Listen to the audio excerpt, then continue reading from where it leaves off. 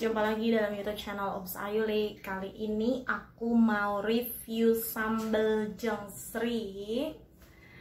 Tapi sebelumnya jangan lupa subscribe dulu, like dan nanti di share.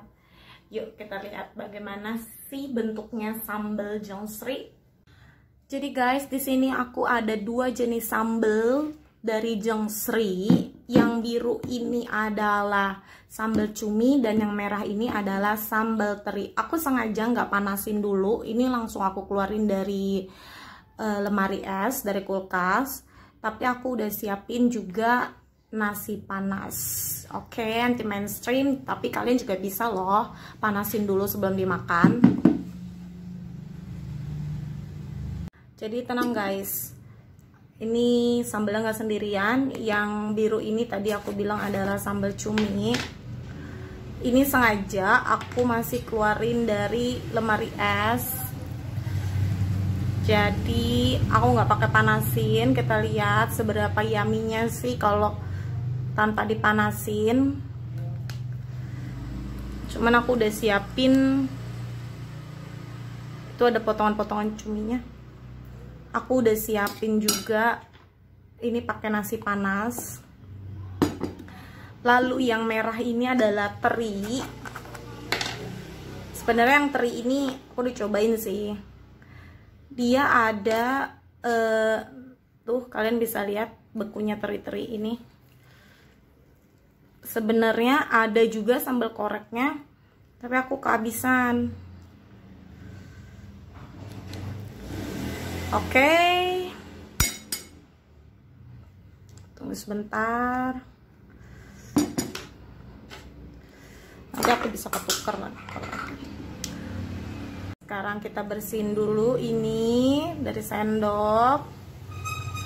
Ya. Udah cuci tangan loh. Terus kita aduk. Hmm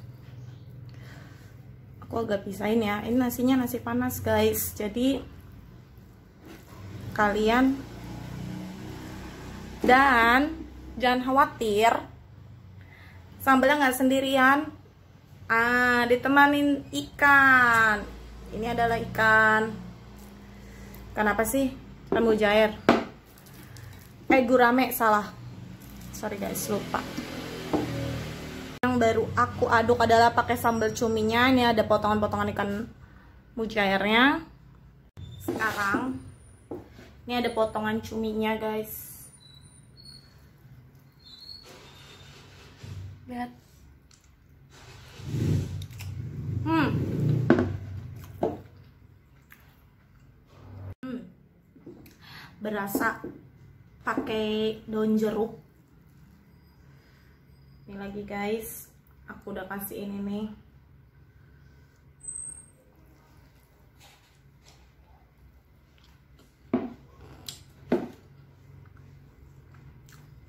Oke, ada berasa daun jeruknya. Pedasnya sedang. Itu kalau menurut aku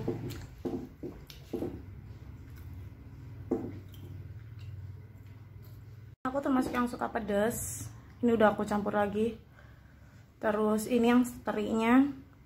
Tuh kelihatan teri-terinya gitu. Aduk aduk aduk.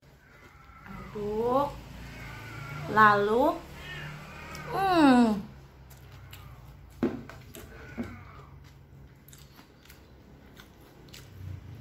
Terinya guys. Yang teri agak gurih mungkin karena terinya kan juga teri asin ya? Lagi ya? Hmm. jadi di sambal cuminya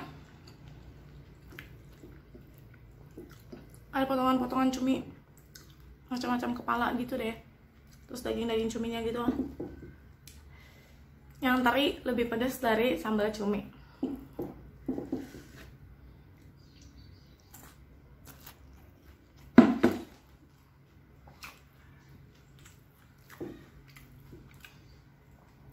nikmat banget guys.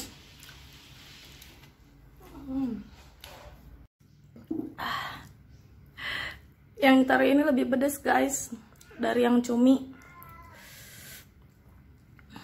Lihat nasiku udah mau habis. Nasiku udah mau habis.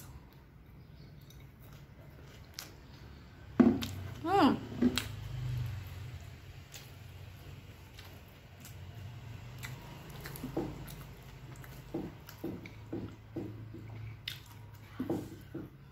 jadi kalau tanpa dipanasin itu tetap enak. Jadi yang teri tadi lebih gurih lebih asin dari yang cumi. Terakhir.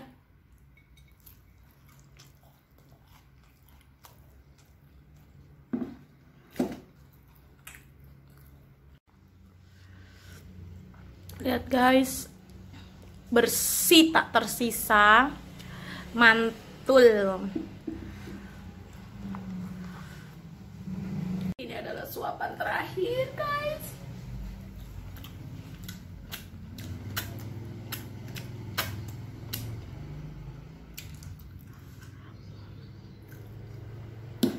Terima kasih udah nonton youtube ini. Dan buat kalian nanti aku kasih kontak personnya kalau yang mau pesen dan cobain sambal jengsri oke okay? jangan lupa di like subscribe and share. Sampai jumpa di video selanjutnya. Bye